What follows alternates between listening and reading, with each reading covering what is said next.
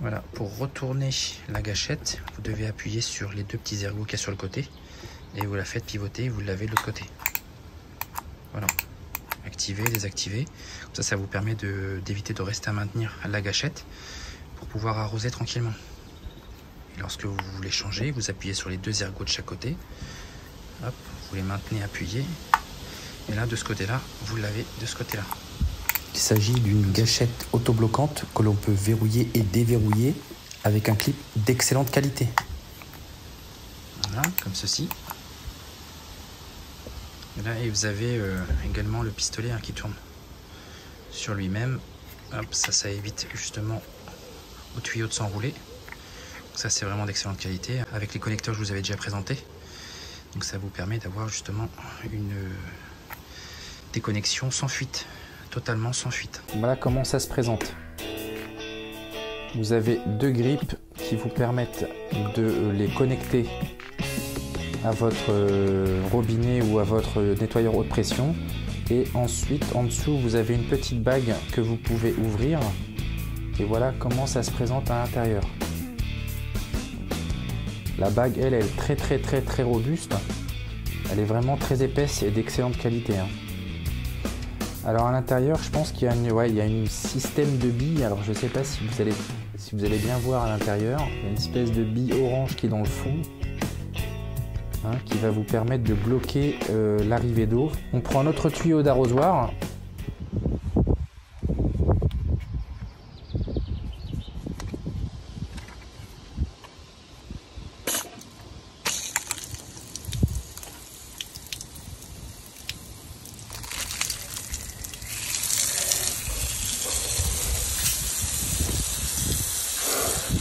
Maintenant, je vous montre comment faire varier le jet à l'aide de la molette grise qui se trouve à l'extrémité du pistolet. Et pour apporter une petite précision concernant l'utilisation de cette bague de réglage qui se trouve à l'extrémité du pistolet, on peut obtenir soit un jet concentré, soit un jet large. On peut faire varier, grâce à cette petite molette, le type de jet que l'on veut obtenir.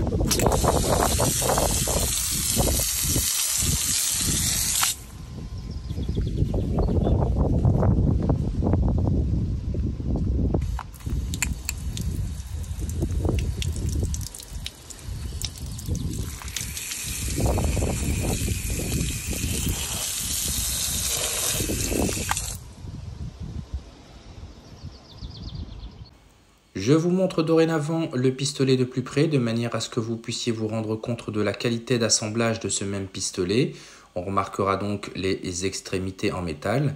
Vous avez du côté de cette extrémité une extrémité en métal et également la petite molette grise qui vous permettra de faire varier le G, la largeur du G, et également la petite manette euh, jaune qui vous permettra de faire varier la puissance du G par contre.